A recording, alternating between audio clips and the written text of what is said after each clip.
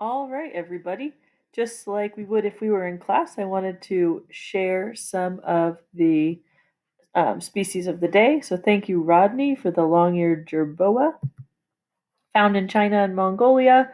Unknown lifespan, but we think about two to three years. They eat flying insects, communicate through vibrations, and those big long ears with those veins in them help cool down the blood and um, alleviate the heat in the hot summer temperatures. Um, I'm going to let you click that YouTube video if you want to. This PowerPoint will be included with our Google Classroom posting. We also have the Dumbo octopus from Ella.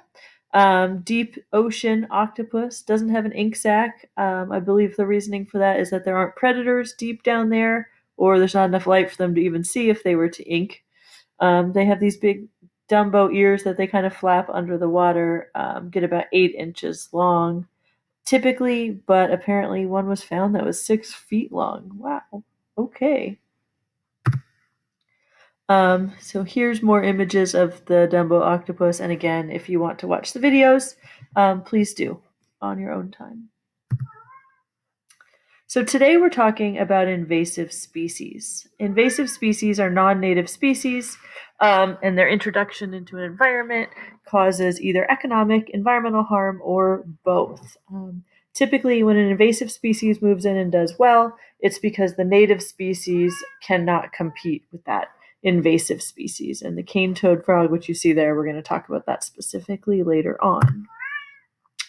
Um, as I said, uh, invasive species are oftentimes a threat to um, the habitat, to the biodiversity of that habitat. Right now, um, 42% of the threatened or endangered U.S. species are at risk as a result of invasive species moving into the area.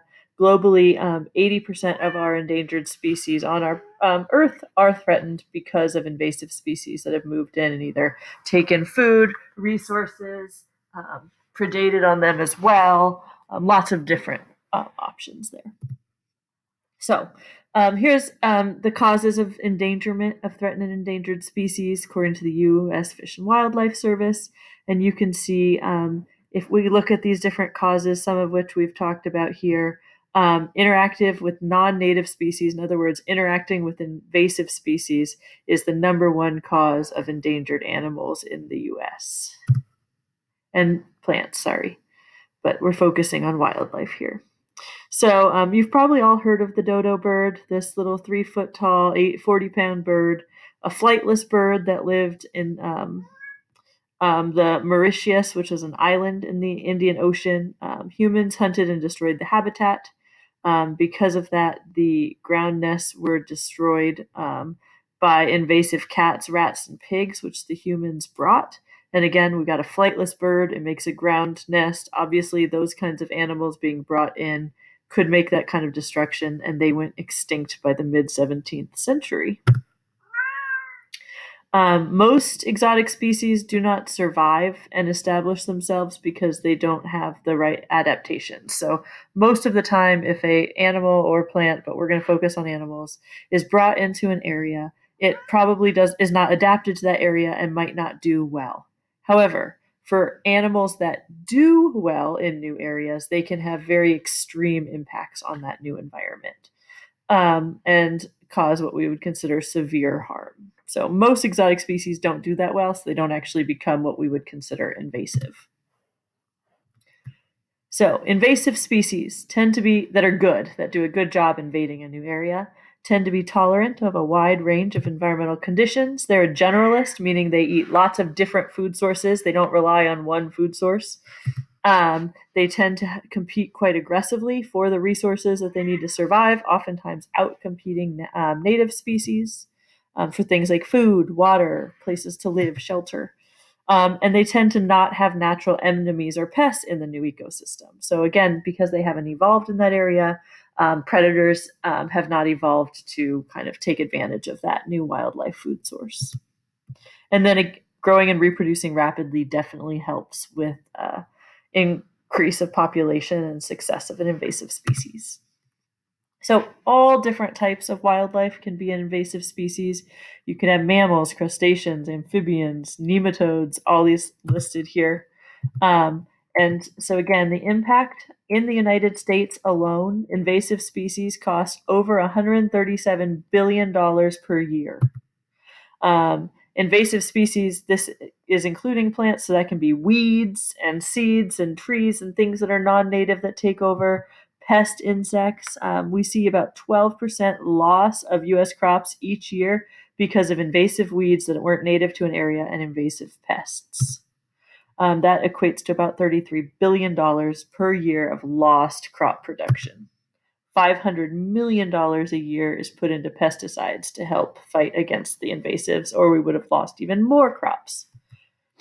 Um, disease is um, considered invasive as well, right? With a new pathogen, um, it can cause loss to plants. Oftentimes, with plants, it could be a fungus, it could be um, a mold spore that wasn't native to that area that does very well living on a certain type of plant. So, we estimate about $21 billion a year lost to those types of problems as well. Um, Nine billion a year lost to livestock pathogens, so illnesses um, oftentimes viruses that are affecting livestock um, can cause death as well. Mad cow disease is one you've probably heard of before. Um, so here we're going to talk about the impacts of a lot of different invasives. These are the kind of one, things that you'd want to review before our next quiz or have ready to look at again. Um, but the European starling, if you've ever watched a YouTube video of that, if you haven't watched one, watch one. It's amazing the way that they um, fly.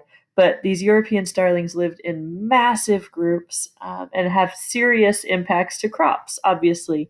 They can damage crops. Um, when we watched a video last semester, we saw birds damaging fruit and things like that. Imagine these massive swarms of birds coming in and landing in a farmer's field. It's not going to work well. Um, they're very aggressive compared to other animals. They outcompete for food sources, for nest sites, um, and they've been known to transmit at least 25 different diseases that weren't native to areas before that. So, as you can see, they were native in this brown region. They have spread into these areas of um, purple as well.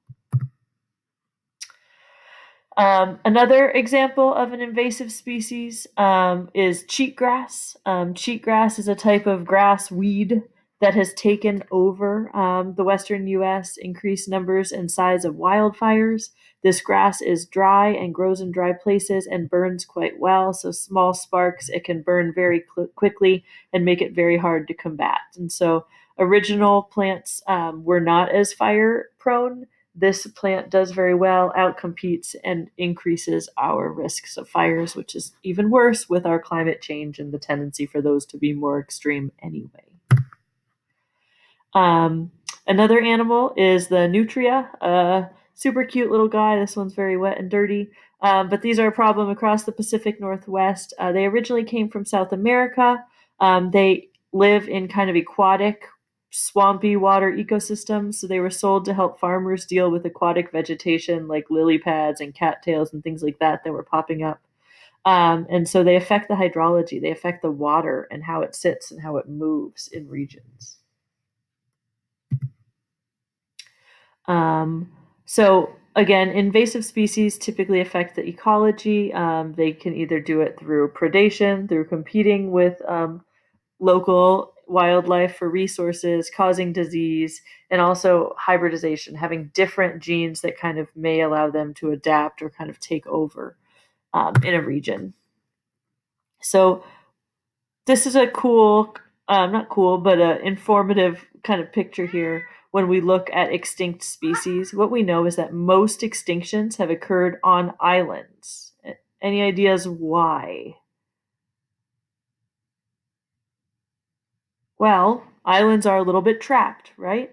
And so when you think about the uh, fact that an animal can't move for new resources, if an invasive comes in and outcompetes it, there's nowhere else for those animals to go.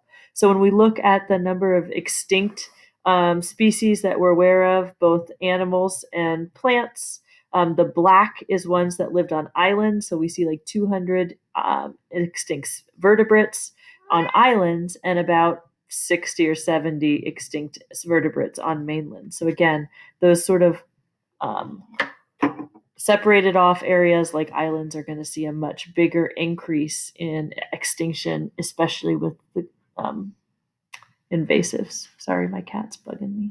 All right. Um, so most extinctions, like we said, are on islands. There's no ability for them to um, move along. Um, island species often don't have the same adaptations that um, whole land kind of animals have, mainly because if there weren't any predators there, they don't need to adapt a way of avoiding predators, for instance. Humans move to Hawaii, let's say, they bring house cats with them. All of a sudden, it's going to make a huge impact on the local animals that weren't used to having large predators that would eat the rodents and the birds and things like that. So, on Hawaii itself, over a third of, um, I'm sorry, in the US, over a third of all of our endangered and threatened plants and birds reside in Hawaii. 282 of them are um, threatened in Hawaii overall, and um, 95% of those threatened endangered animals is because of invasive species that are coming in and taking over, both competitively, um, bringing in new disease, and like I mentioned, like with the house cat, new predators. So what we see is we've looked at how quickly we are bringing new species um, into Hawaii, and what scientists have found is that there's about there used to be naturally just by animals kind of, um, floating over for or flying into Hawaii about one new species every 100,000 years. After the Polynesians um, came to the Hawaiian Islands, we saw about one new species every 50,000 years.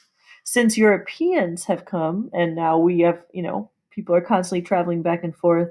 There's about four new um, species brought to Hawaii every single year. Um, so about a thousand plant species in the last 200 years, um, about five um, have been established, um, and 5,000 have been introduced. So again, not everything invasive um, does well, but a thousand new plant species is obviously changing the native plant life that's there. So, how do invasions happen?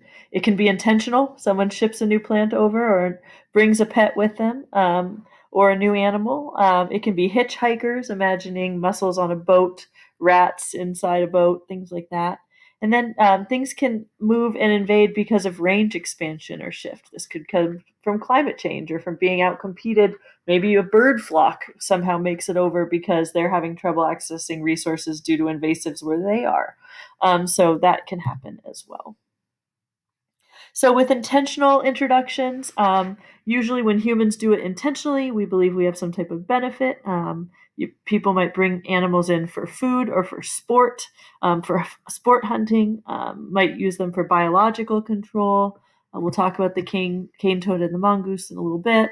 Um, sometimes plants are brought in for restoration or house pets, friends. Um, if they become released, they can cause an impact, obviously. Um, I believe European starlings were brought for hunting um, and have done very well in a lot of places. Um, here's an example of a non native species introduction, so an invasive species. Approximately 60 ring necked pheasants were brought um, from China into Port Townsend, Washington in 1881. Most of them died on the way.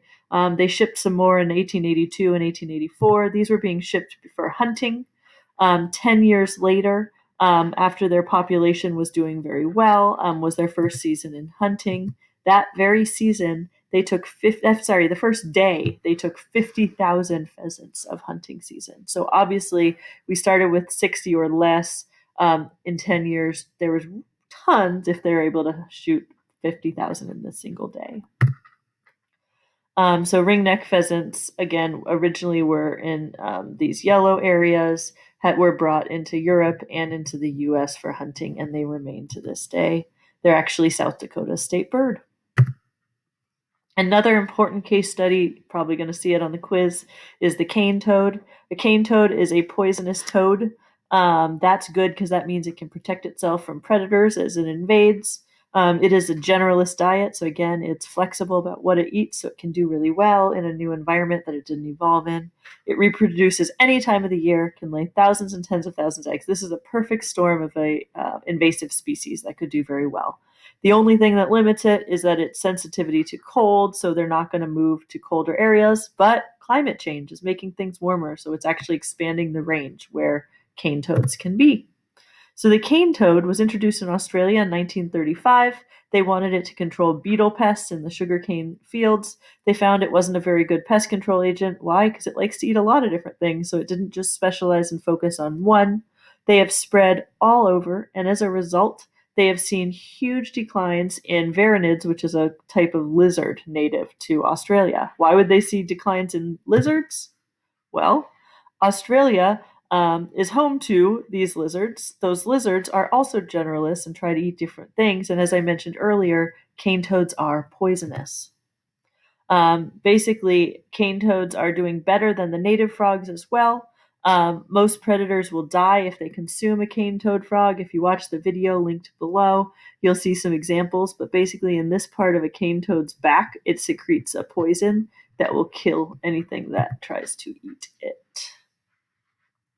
Um, this was really interesting. So the northern quoll um, is an endangered animal, small carnivorous marsupial. It eats cane toads, um, but it's susceptible to the poison. So again, it it was natural in Australia. It was willing to eat cane toads, but having it not been something native, they hadn't evolved to avoid cane toads. They would eat the cane toads and they would die. And so the cane toads were here, but Australians wanted to prevent the extinction of these little um, guys because they're so cute. So what they did was they actually captive um, captive bred them, and they taught them to avoid cane toads. And so they used small toads and they put a nausea-inducing chemical on the toads, and they exposed the toads to the animal. The animal would smell these little small toads.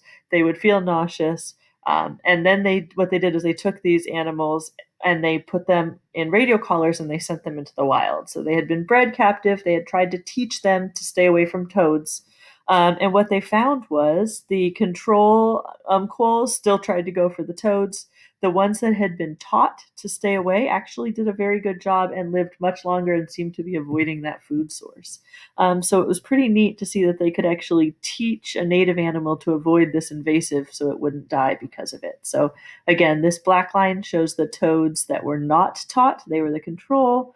And the dotted line shows the ones that were taught and the daily survival, um, how many were surviving per day. Uh, dramatically increased. Apparently, females started off uh, a little bit more likely to succeed. I'm not sure if that's size and ability to eat cane toads, but they still improved as well.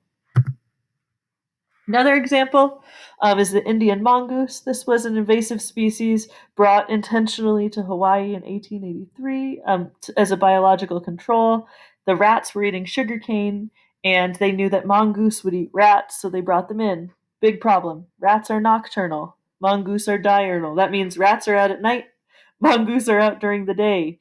Um, so they didn't take care of the rats. They also st- still did well. They didn't have any natural predators. The mongoose started eating birds, bird eggs, reptiles, and they were a vector for rabies and leptospirosis. And so, uh, besides doing $50 million a year in damages, they were also increasing illness on the island.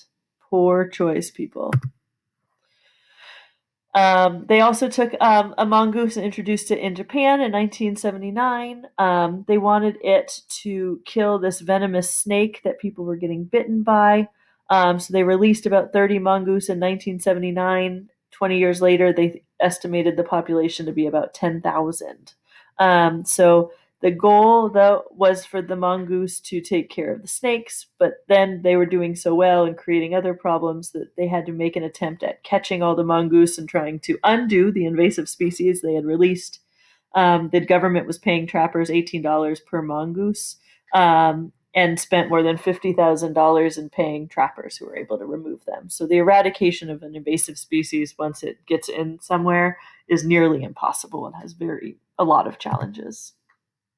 So, other ways that invasives can happen is through hitchhikers. Um, as I mentioned before, you can have something stuck on the ballast of a ship. Something could accidentally be released into wildlife. Think about a zoo or something like that. Um, insects can easily travel on plants and foods, rats and mice in um, cargo, um, and with and diseases as well, like we're seeing with COVID nineteen right now. Um, all of those invasive, not native to areas, and can have big impacts. Um, the Burmese python. I wonder if any of you have seen this picture before. It's been a very famous one. Um, but the Burmese python um, in the Everglades is a real problem. Um, one of the main causes of um, the Burmese python in Florida it was from Hurricane Andrew. Um, it flooded warehouses and pet stores and things like that, and these snakes got out. Here's an example of a python that died while trying to ingest a massive alligator in the Everglades. Um, so, really big snake eating really big prey. Obviously, they can have major impact. They eat birds and all the way up to alligators and livestock. Um, they can grow 22 feet.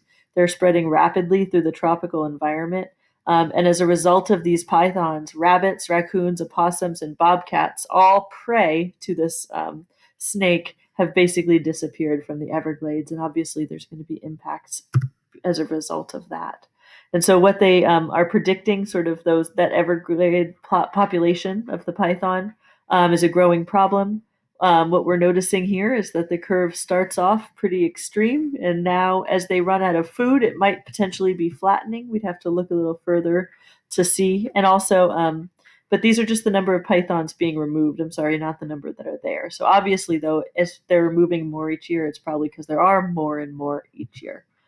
Um, the result of this high population of pythons, they're noticing the native um, animals um, in the Everglade, Everglades National Park have decreased, as I mentioned. Um, you can see rodent numbers. Um, you can see raccoons, foxes, coyote, bobcat, panthers. A lot of these um, deer even can get eaten by these things. It's pretty wild. Um, so Florida has plenty of other um, issues as well. So the key Largo wood rat, rat is an endangered species they were trying to protect. The wood stork, um, which f- eventually moved from endangered to threatened in 2014 um, as a result of Florida putting a lot of effort and energy and money into helping these. So from 1999 to 2009, Florida spent over 1.4 million restoring wood rats, 101 million for the wood stork. Um, but part of the way they're doing that is by attacking the python issue because both of these animals have been found as python food in their stomachs when caught. So, this is the big question scientists are asking now. Will Burmese pythons spread with climate change? Right now, this is where they are established. This is where they're found, okay? The Everglades and the southern tip. All of Florida, the darker gray, is the area where it's possible and with climate change, as we've talked about, we expect that heat to keep going. And so that range could continue to grow of where they could succeed. Eventually, um, these are areas where they could actually uh, survive. Um, so at the tip of Florida now, that's only the start. With um, so this is the current possible range that they could move into depending on the time of year and the weather. Um, green being yes, yellow being maybe. This is it in 2100. Um, so even up in Washington, we see a tiny bit that might have the conditions. Obviously, they probably won't jump that far unless they are released by humans. So in 2013, the state tried something interesting and gave people python permits um, for hunting and harvesting, and they would actually have contests for who could get the heart, the largest and the biggest, um, trying to get people to get rid of these um, of these threats. Uh, they know that they're aggressive, they're ill tempered. Um, they actually killed two boys that had one as a pet in Canada. So these African rock pythons are another issue. Um, when they were catching them, they even found one that had fertilized eggs, which is, you know, just showing that they are doing well and able to reproduce in that area. So again, here's where they're suitable. The green area is where the rock pythons could survive right now. Um, orange is actually too hot, so parts of Texas is safe. Um, and we're kind of close to the too wet area, and a lot of places are too cold. But again, with climate change, we expect that those habitats that they could move into will grow as well. Here's an example of a native species, I'm sorry, invasive species that moved in to replace a native species just because of natural range expansion. So if you look here, barred owls used to live in this um, number one category. Historically, they lived here. Um, in 1910 and 1940, they kind of spread into area number two, 40 to 60 into area number three, 60 to 80 down here, and so they continue to expand. And spot five um, is a problem because the spotted owl only lives in spot five. So obviously, the barred owl is doing very well in a lot of ranges across the United States, and it's interfering um, and competing with a the spotted owl, which has a much smaller range and isn't going to do nearly as well if it is being outcompeted by this other owl. Another example is western bluebirds versus mountain bluebirds. Um, mountain bluebirds are um, less aggressive. Western bluebirds have moved into their range. What do we think is going to happen? Well, I think the answer is obvious. The mountain bluebirds probably going to succeed. The less aggressive western bluebirds are going to slowly get threatened and potentially extinct. Vectors um, are basically a animal that can carry a disease that can go to some other animal. So it's a carrier um, that can transfer to a different species. Um, so ships can can carry animals, and I guess not always a disease, but ships can carry animals and transfer them from one place to another. Human visitors can be a vector, bringing an invasive species somewhere else, and then parasites um, can be carried from one animal to another as a vector as well. Um, this is a unique vector for invasive species. In March 2011, um, you've probably all heard about the big giant tsunami that caused the earthquake that caused the tsunami, and Japanese debris got spread across the Pacific Ocean, and some of it landed on our coast.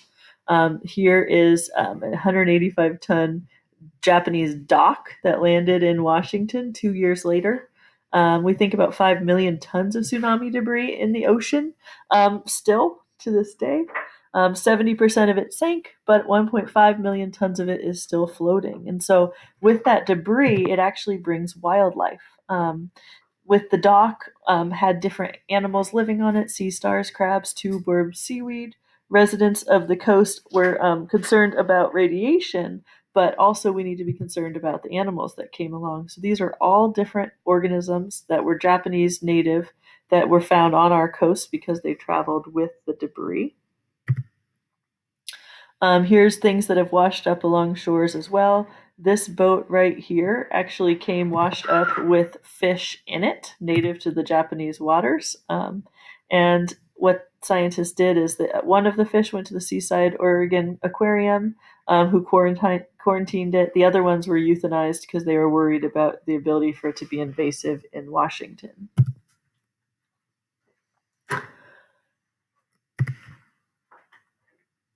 So, what do we do about invasive species? We've talked about this dingo before, the fact that dingo numbers actually um, help fox, kangaroo, rabbit, and other small mammals because dingoes control foxes and foxes would eat those. It's all about finding a kind of balance between the different animals. Um, we talked again, we talked about this, but how red fox numbers are higher where dingoes are absent, small mammals are higher where dingoes are present. So it's about finding that balance. Um, and feral cats. Feral cats contribute to 8% of extinctions of birds, mammals, and reptiles. Additionally, they can um, cause uh, 10% of the declines of critical endangered species. So they're very hard, especially on islands, as we said, ground nesters like the dodo bird and other species that aren't used to predators, and all of a sudden your friendly little house cat becomes a predator that can lead them to extinction. Um, here are some rare birds that returned to a remote British island um, after a big effort to kill off feral cats. So birds that can fly leave. What we've found, um, which is kind of cool, is removing cats um, can help. Um, this island, however, had a different problem. They removed cats to protect birds, and the rabbits did so well that they took over a lot of the food sources of the birds. So it's all about finding that balance and looking at all the pictures, all the animals that are involved. So we need to be careful. They removed the cats that but then the rabbits degraded the habitats and the nesting environments and it didn't help the birds after all.